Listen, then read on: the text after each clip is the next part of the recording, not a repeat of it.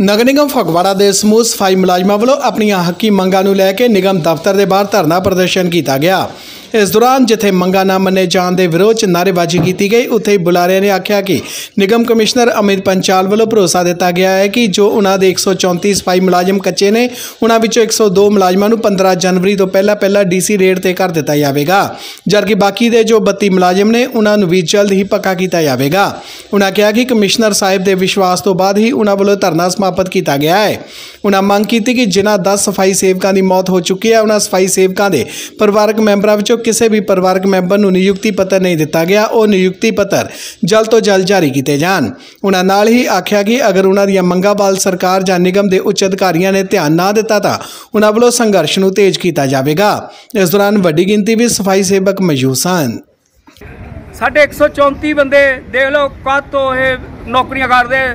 1200 ਰੁਪਇਆ ਮਿਲਦਾ ਸੀ, ਫਿਰ 2400 ਹੋ ਗਿਆ, ਫਿਰ 2700 ਹੁਣ ਮਹਾਰਾਜ ਦੀ ਦਇਆ ਨਾਲ ਕੋਈ 9300 ਰੁਪਈਆ ਆ 9300 ਰੁਪਇਆ ਕੱਚਿਆਂ ਦੇ ਵਿੱਚ।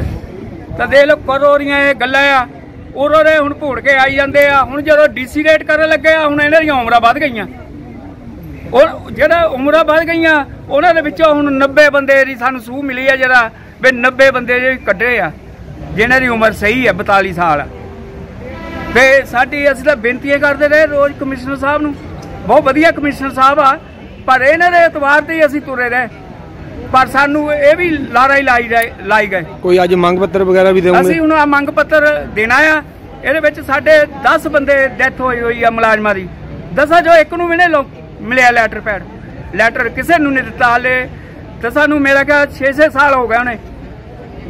ਕਿਸੇ ਨੂੰ 6 ਸਾਲ ਕਿਸੇ ਨੂੰ 3 ਸਾਲ ਕਿਸੇ ਨੂੰ 2 ਸਾਲ ਐਦਾਂ ਮਰਿਆਂ ਨੂੰ ਹੋ ਗਏ। ਜਿਹੜਾ ਅੱਜ ਪਰ ਜਿਹੜਾ ਤੁਸੀਂ ਅੱਜ ਧਰਨਾ ਦਿੱਤਾ ਹੈ ਅਨਮਿੱਥੇ ਸਮੇਂ ਲਈ ਆ ਜਾਂ ਮਤਲਬ ਅੱਜ ਕੁਝ ਉੱਤੇ ਲਈ ਆ? ਇੱਕ ਮੰਗ ਪੱਤਰ ਦੇਣ ਲਈ ਦਿੱਤਾ ਹੈ ਜੀ ਅਸੀਂ। ਤਾਂ ਇਹ ਅਸੀਂ 72 ਘੰਟੇ ਦਾ ਦਿੱਤਾ ਵਿੱਚ ਟਾਈਮ 3 ਦਿਨ ਦਾ। ਇਹਨਾਂ ਨੂੰ ਸੋਚਣ ਦਾ ਟਾਈਮ ਦਿੱਤਾ ਆ ਮੰਗਾਂ ਮੰਨੀਆਂ ਜਾਣ। ਜੇ ਨਾ ਦੋਗੇ ਤਾਂ ਅਸੀਂ ਅਨਮਿੱਥੇ ਸਮੇਂ ਲਈ ਹੜਤਾਲ ਕਰਾਂਗੇ। ਅੱਜ ਮ- ਤਿੰਨ ਦਿਨ। ਅੱਜ ਸਮੂਹ ਸਫ਼ਾਈ ਸੇਵਕਾਂ ਵੱਲੋਂ ਇੱਕ ਧਰਨਾ ਦਿੱਤਾ ਗਿਆ ਜਿਸ ਵਿੱਚ ਸਾਡੀਆਂ ਕਾਫੀ ਦੇਰ ਤੋਂ ਮੰਗਾਂ ਲਟਕਦੀਆਂ ਰਹੀਆਂ ਸਨ। ਅੱਜ ਸਾਨੂੰ ਕਮਿਸ਼ਨ ਸਾਹਿਬ ਨੇ ਭਰੋਸਾ ਦਿਵਾਇਆ ਆ। ਅੱਜ ਸਾਨੂੰ ਕਮਿਸ਼ਨ ਸਾਹਿਬ ਨੇ ਭਰੋਸਾ ਦਿਵਾਇਆ ਇੱਕ ਮਿੰਟ। ਵੀ ਜਿਹੜੇ ਆਪਣੇ 134 ਸਫ਼ਾਈ ਸੇਵਕ ਆ ਉਹਨਾਂ 'ਚ 102 ਮੁਲਾਜ਼ਮ ਜਿਹੜੇ ਆ ਉਹ ਤੁਹਾਨੂੰ 15 ਜਨਵਰੀ ਤੋਂ ਪਹਿਲਾਂ ਪਹਿਲਾਂ ਅਸੀਂ ਡੀਸੀ ਤੇ ਕਰ ਦੇਵਾਂਗੇ। ਤੇ ਜਿਹੜੇ ਵਰਦੀਆਂ ਦੇ ਪੈਸੇ ਆ ਉਹ ਵੀ ਤੁਹਾਨੂੰ ਨਵੇਂ ਸਾਲ 'ਚ ਮਿਲ ਜਾਣਗੇ। ਅਸੀਂ ਅੱਜ ਉਹਨਾਂ ਦਾ ਭਰੋਸਾ ਲੈ ਕੇ ਬਾਹਰ ਆਏ ਆ। ਸਾਨੂੰ ਆਸ ਆ ਵੀ ਸਾਡੇ ਜਿਹੜੇ 102 ਮੁਲਾਜ਼ਮ ਆ ਉਹ 15 ਦਿਨ ਤੱਕ ਡੀਸੀ ਤੇ ਹੋ ਜਾਣਗੇ। ਤੇ ਜਿਹੜੇ 32 ਮੁਲਾਜ਼ਮ ਆ ਜਿਹੜੇ 32 ਮੁਲਾਜ਼ਮ ਆ ਉਹਨਾਂ ਦਾ ਮਤਾ ਅਸੀਂ ਬਾਅਦ ਚ ਪਾ ਕੇ ਭੇਜਾਂਗੇ ਉਹ ਵੀ ਤੁਹਾਡੇ ਕਹਿੰਦੇ ਪੱਕੇ ਹੋ ਜਾਊਗੇ। ਤੇ ਸਰ ਕੋਈ ਵਰਦੀਆਂ ਵਗੈਰਾ ਦੀ ਕੋਈ ਗੱਲਬਾਤ ਅੰਦਰ ਵੀ ਹਾਂਜੀ ਹੋਊਗੀ? ਬੰਦੇ ਗੱਲ ਹੋਈ ਆ ਜੀ। ਉਹ ਵੀ ਕਹਿੰਦੇ ਨਵੇਂ ਸਾਲ ਕੇ ਦੇਵਾਂਗੇ। ਹਾਂਜੀ। ਹਾਂਜੀ। ਤੇ ਕਿੰਨੇ ਵਿਅਕਤੀ ਕੀਤੇ ਗਏ ਆ? ਇਹ 102 ਕੀਤੇ ਆ ਜੀ। ਹਾਂਜੀ। 15 ਦਿਨ ਕਹਿੰਦੇ ਇਹਨਾਂ ਨੂੰ ਅਸੀਂ ਲੈਟਰ ਦੇ ਦੇਵਾਂਗੇ। ਜਿਹੜੇ 32 ਬੱਚੇ 32 ਬੰ- ਬੰਦੇ ਬਚੇ ਆ, ਉਹਨਾਂ ਦਾ ਉਹਨਾਂ ਦਾ ਬਾਅਦ ਚ ਕਰਮਚਾਰੀ ਭੇਜਾਂਗੇ।